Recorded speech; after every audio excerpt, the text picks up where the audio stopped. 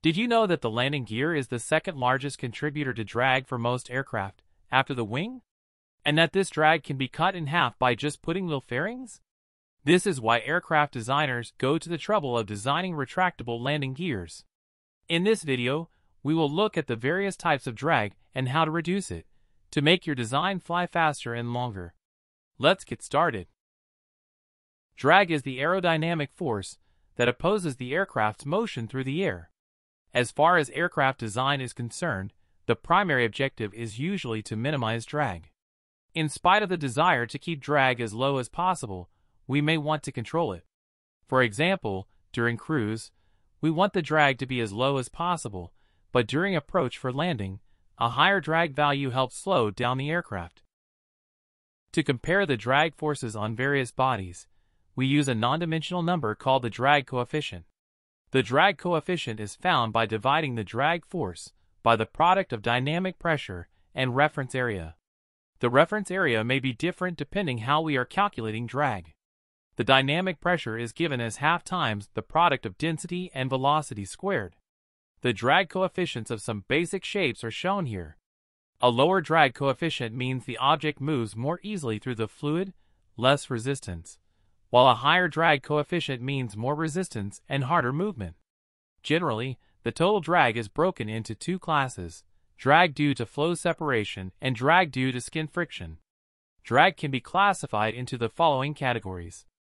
Up first is the basic drag, also known as form drag, and it is a type of pressure drag. It is caused by resultant pressure distribution over the surface of body. It can be thought of as the component of the pressure force parallel to the tangent to the flight path.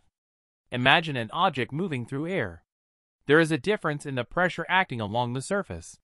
The drag force is the product of the pressure acting on a cross-sectional area of the body, normal to the flight path. Then comes the skin friction drag. This drag is due to rubbing of air molecules along the surface of the airplane. Intuitively, it is proportional to the wetted area of the airplane. If you submerge your aircraft in a water tank and remove it, all the surface area that gets wet is called the wetted area. It also depends on the skin surface roughness. The value for this drag is highly dependent on how much of the flow over the aircraft component is laminar and how much of it is turbulent. Due to this, it is often difficult to analyze skin friction drag. Up next is lift-induced drag. This is due to the circulation of air around the wing in the form of vortices. This circulation tips the lift coefficient backwards, creating a force component that adds to the total drag. I found this video by Flight Club very helpful in understanding induced drag. Then comes wave drag. This drag is experienced when the aircraft flies at high subsonic or transonic speeds. It is caused by the rise in pressure around a body due to the formation of a normal shock wave. Finally, there is miscellaneous drag. This type of drag is often overlooked, and it is due to a number of small contributions, like drag due to small inlets and outlets, access panels, etc. Thus, the total drag coefficient can be considered as the sum of all individual drag coefficients. For low subsonic aircraft, we can ignore the contribution of wave drag.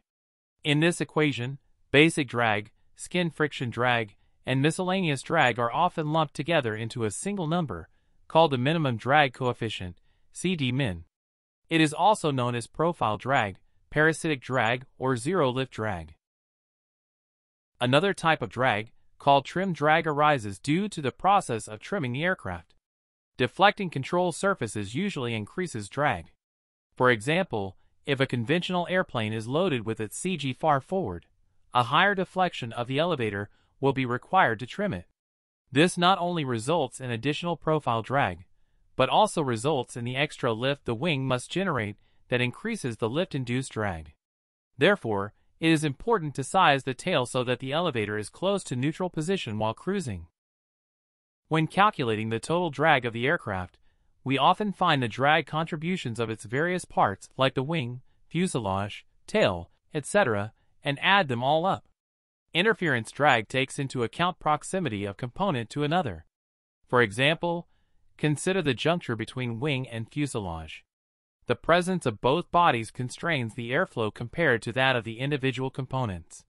This increases the local airspeed and thus increases drag.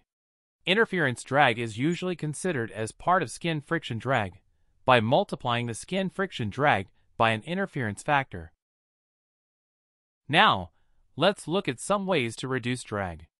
Add fillets at junctures such as wing and fuselage or tail and fuselage to reduce interference drag. If possible, use tadpole-shaped fuselages to reduce parasitic drag.